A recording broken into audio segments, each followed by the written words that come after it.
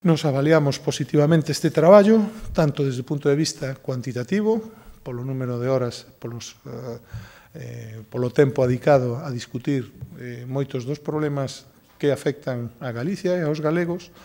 pero tamén eh, apreciamos, e xa nos gustaría asinar, se algunha vez volvemos a estar na oposición, que temos as mesmas posibilidades de facer oposición e controlar o goberno que ten actualmente a oposición, tamén valoramos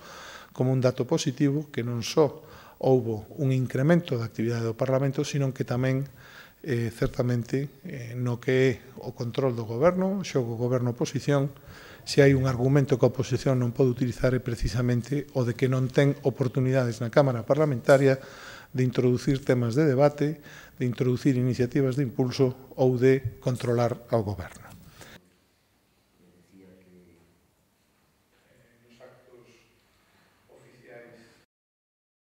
si el considera cousa que eu non considero que isto é un teatro, hai que recoñecer que o libreto e o guión